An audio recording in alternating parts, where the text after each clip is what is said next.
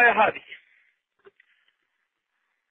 عن رواية عن الإمام موسى بن جعفر عن أبيه عن جده في قوله عز وجل ذو مرة فاستوى إلى قوله إذ يغشى السدرة ما يغشى.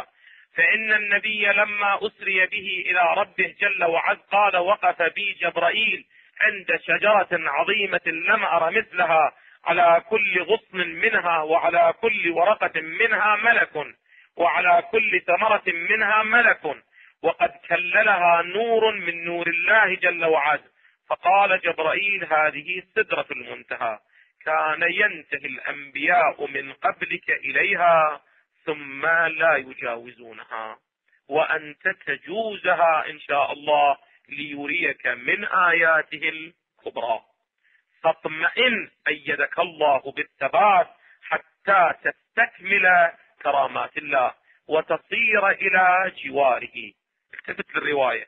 ثم صعد بي حتى صرت تحت العرش. فدلي لي رفرف أخضر فرفعني الرفرف. بعد هناك جبرائيل وبراق وهذني بعد لا وجود لها. فرفعني الرفرف بإذن الله إلى ربي فصرت عنده. وانقطع عني أصوات الملائكة ودويهم لأنه بعد لو دنوت أنملة لاحترقت. وذهبت عني المخاوف والروعات وهدأت نفسي واستبشرت وظننت أن جميع الخلائق قد ماتوا أجمعين. هذا الإنسان من يصل إلى مقام الفناء بعد يرى الآخرين أو لا يرى الآخرين؟ هذه هذا إشارة إلى مقام الفناء أن ذاك المقام بعد مو مقام يمكن للإنسان أن يحتفظ باناء ويصل إلى ذلك المقام. يعني ذاك المقام مقام البقاء بعد الفناء لا مقام البقاء أو الإبقاء قبل الفناء. وذهبت حتى كأنهم ماتوا أجمعين ولم ارى عندي أحدا من خلقه فتركني ما شاء الله ثم رد علي روحي. هسه واقعا الوقوف عند هذه الأحاديث قيم مهم ولكنه يخرجنا كثير من الأحاديث.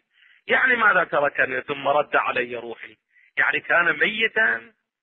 لي كان ميتا. هذا الموت الذي تقول الروايات عنه موتوا قبل أن تموتوا. يعني تلك الأنا التي بها صار محدودا بعد غير موجودة وهذا اللي إحنا أكدنا عليه فيما سبق أن البقاء أن الحياة بعد الفناء هو بقاء بالله لا إبقاء بالله.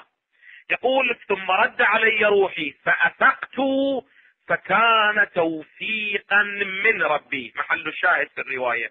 فكان توفيقا من ربي عز وجل أن غمضت عيني وكل بصري وغشي عني النظر فجعلت أبصر بقلبي كما أبصر بعيني بل أبعد وابلاغ من الروايات الواضحة التي تثبت هذه الحقيقة التي نحن بصدد إثباتها. اذا الآيات والروايات كما ذكرت كثيرة في هذا